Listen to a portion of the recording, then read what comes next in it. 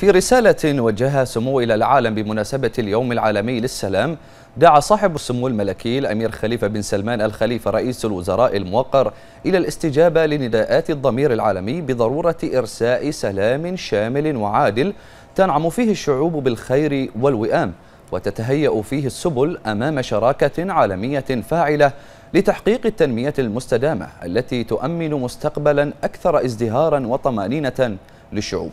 وشدد سموه على أهمية تحرك المجتمع الدولي باتجاه بلورة رؤية استشرافية جديدة تعمل وفق إرادة جماعية مشتركة لدفع جهود السلام حول العالم عبر التمسك بالمبادئ والقيم السامية التي جاءت بها الأديان السماوية وأقرتها المواثيق الدولية والتي تحض على السلام والتعاون وحسن الجوار مؤكدا سموه أن شعوب العالم تتوق للسلام والاستقرار لتعويض ما فاتها من فرص الحياة والنهوض. وأكد سموه أن مملكة البحرين بقيادة صاحب الجلالة الملك حمد بن عيسى الخليفة ملك مملكة البحرين كانت وستظل تدعم كل جهد غايته تحقيق السلام وتعزيز التنمية والاستقرار عبر مشاركاتها الفاعلة في مختلف التحالفات الإقليمية والدولية الساعية لترسيخ الأمن والسلم الدوليين. ومحاربة الإرهاب بكافة صوره وأشكاله. ومن خلال عمل دؤوب لمساندة قضايا الحق والعدل لإنهاء الصراعات التي تشهدها العديد من مناطق العالم. وقال صاحب السمو الملكي رئيس الوزراء في رسالة إلى العالم بمناسبة الاحتفال باليوم العالمي للسلام والذي يصادف يوم غد السبت ويقام هذا العام تحت شعار العمل المناخي من أجل السلام. قال سموه إن السلام والاستقرار ركيزة أساسية للسير في طريق التنمية وتحقيق أهدافها في النهضة والازدهار وأنه لا يمكن للتنمية أن تزدهر في ظل أوضاع مضطربة سياسيا واقتصاديا واجتماعيا وبيئيا فالتنمية المستدامة الناجعة هي التي تدرك مختلف التحديات وتضع الحلول والمبادرات لمعالجتها.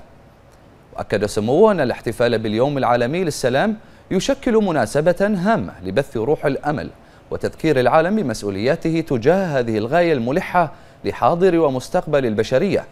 ونوه سموه إلى أن تركيز اليوم العالمي للسلام هذا العام على قضية العمل المناخي من أجل السلام يعكس حجم التهديد المناخي المتزايد الذي تواجهه البشرية نتيجة لما يمكن أن يخلفه من كوارث تؤثر سلبا على المكتسبات التنموية وكافة مظاهر الحياة الأخرى فضلا عن أنه يضع المجتمع الدولي أمام مسؤولياته تجاه هذه الظاهرة الخطيرة ويستنهض الرأي العام العالمي من أجل التكاتف في مواجهة واحدة من أكبر التحديات العالمية.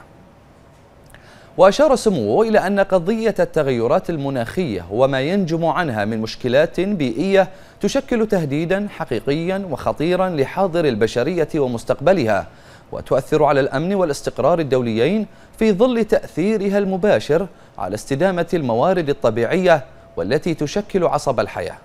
وشدد سموه على أن مثل هذه التحديات يجب أن تكون دافعا نحو تعزيز العمل المشترك لصون المكتسبات التي أنجزتها البشرية بما يتيح المجال أمام الشعوب وبخاصة الأكثر احتياجا للحصول على نصيبها من التقدم والنماء ودعا سمو إلى ضرورة وضع إطار أممي متكامل لمكافحة التغيرات المناخية والحد من هذه الظاهرة والتخفيف من آثارها السلبية باعتبارها تهديدا حقيقيا للتنمية والسلام في العالم أجمع.